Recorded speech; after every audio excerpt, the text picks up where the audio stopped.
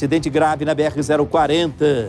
O motorista perde o controle da direção, bate na parada de ônibus na entrada do condomínio Total Ville. O carro estava com duas pessoas.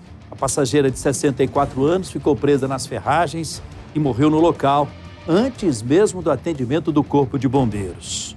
O motorista de 61 anos teve fratura no fêmur, foi levado em estado grave para o hospital de base.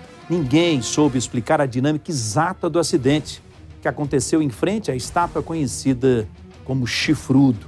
Você tem as imagens aí, percebe que chovia no local na hora do acidente. As informações realmente dão conta que no momento exato do acidente chovia muito. Talvez essa tenha sido uma das causas desse terrível acidente na BR, não é?